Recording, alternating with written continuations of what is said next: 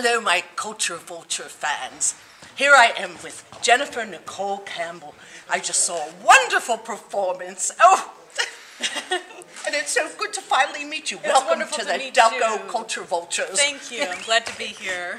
So, how do you do what you do? You're amazing. Well, I, it's, uh, music is my life, and uh, it's, it's been so wonderful collaborating today with the Academy of International Ballet.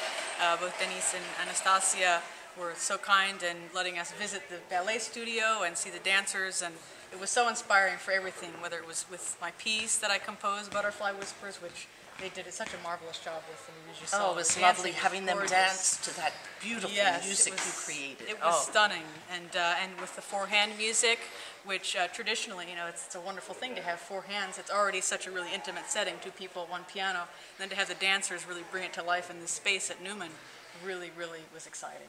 And how long did it take you to practice for this? Well, uh, for my composition, uh, I began writing parts of it down in the summer, and then I finished it up over the past two months. And then uh, my duo partner uh, for Impromptu and I, we've been practicing for a few months by ourselves, and then over the past few weeks, we've been practicing together.